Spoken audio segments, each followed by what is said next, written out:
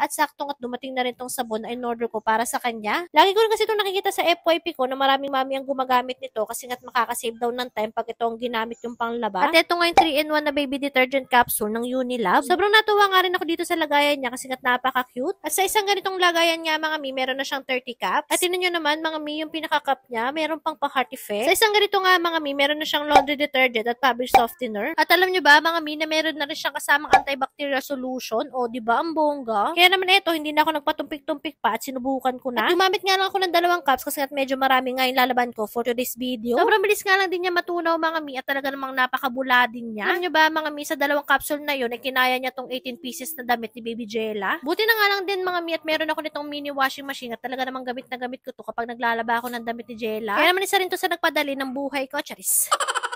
Este sa paglalaba ko, tinan nyo naman mga mi kung gaano kabulayan pagkatapos. After ko nga paikutin ng 10 minutes, eto nga dito ko na nga rin siya babanlawan ng tatlong beses. At syempre after ko naman siyang banlawan, syempre isasampay ko naman. Pero bago ko nga isampay yan, ibinabalagtad ko muna tong mga damit. Kasi alam naman natin kapag nagpapatuyo tayo, hindi maiiwasan yan maalikabukan. Kaya naman yung case na maalikabukan siya mga mi, nasa labas lang siya ng damit at hindi sa loob. Para kapag gagamitin na yung damit, hindi dadirect yung alikabok sa balat. Yan din kasi minsan talaga ang dahilan kapag nangangati yung mga bibi natin. At nung pagkatuyo naman ng damit mga mi, talaga namang napakabango din. Kaya naman eto, pinanggigilan na ng kuya niya.